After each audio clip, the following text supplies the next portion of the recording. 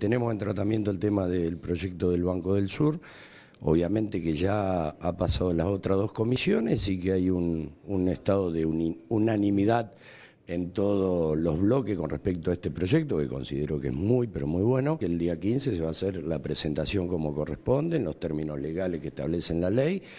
eh, del presupuesto 2012 eh, y las expectativas pues serán esperar el respaldo de este presupuesto, el cual no tuvimos en el anterior. Creo que el Ejecutivo, la Presidenta de la Nación, merece tener un presupuesto, lo dijimos el año pasado y lo vamos a volver a ratificar este año. Yo creo en la madurez de la dirigencia política y creo que tenemos que evaluar el contexto eh, que hoy se encuentra el país relacionado con todos los problemas financieros internacionales, el esfuerzo que ha hecho el gobierno nacional, el esfuerzo que ha hecho el pueblo argentino para que estemos en este cuadro de situación, así que creo que la dirigencia política tiene que tener un marco de responsabilidad y brindarle a la presidenta el presupuesto que, debe tener. Este es el último dictamen que falta, ustedes saben que aprobó Comisión de Relaciones Exteriores, aprobó la comisión que yo presido de Finanzas,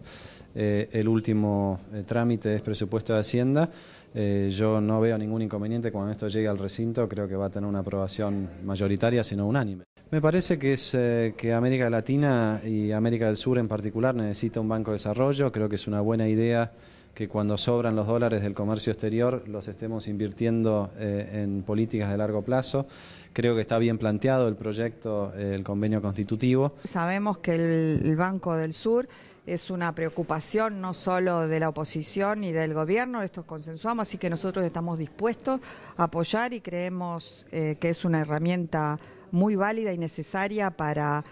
que Argentina esté inserta en Latinoamérica para aprovechar el momento histórico que tenemos la suerte de vivir.